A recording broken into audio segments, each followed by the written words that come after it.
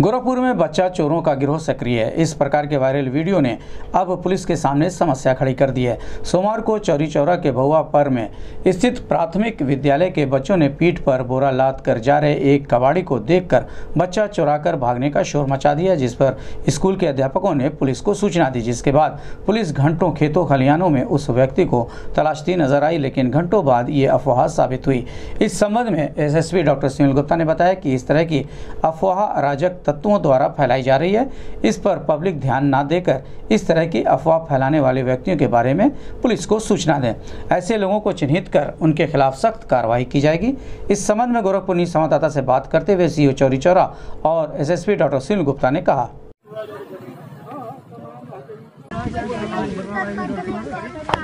एगो के बोरा में भर रहा था एगो मार मार लेकर जा रहा था।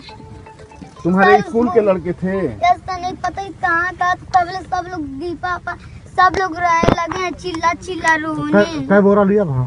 सर एक ही था चाकर का था उसी में भर था। सर दीपा बोरा के अंदर कैसे पता चला कि बच्चा है ये?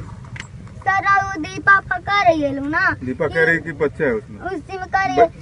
बोरा बाहर से तो दिख नहीं रहा था। आप लोग ऐसे इसी पर ले जा रहे बाहर हैं। से नहीं लौकत रहा बेटा। नहीं। सुनो बेटा सुनो मेरी बात। घबरा मत तुम आराम उसमें से तुम देखे हो बच्चे को रखते हुए। नहीं। अच्छा बोरा में कुछ रखा था। ये आप देख रहे थे।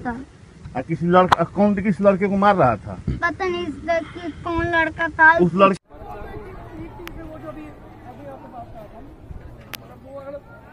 एक भंगोपर गाँव में अफवाह फैली कि कुछ लोग हैं। एक बच्चे को बोरी में भर के लेके जा रहे हैं जिसके दो में SO Pipraich inspector Chauri Chaura, inspector जगह और मैं एस खुद मौके पहुँचे, वहाँ सर्च कराया गया। तो इस तरह की कोई बात नहीं निकली, कोई भी बच्चा मिस भी नहीं था।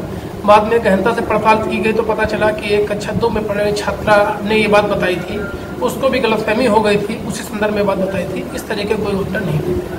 ये सुबह एक सूचना प्राप्त हुई थी, उसकी तफ्तीश की गई, कहीं कुछ ऐसा नहीं निकला है। मैं लोगों से भी गुजारिश करूँगा कि इस तरह की अफवाहों पर ध्यान मत दें।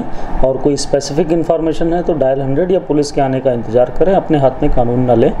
और इस मामले में मैं यहाँ ये आश्वासन देना चाहता हूँ कि कहीं कोई इस तरह का गिरोह, बीस लोग, पचास लोग नहीं आए हैं, जो इस तरह की अफवाहें जो फैलाई जा रही हैं, उनके विरुद्ध बहुत कड़ी और कानूनी कार्रवाई की जाएगी।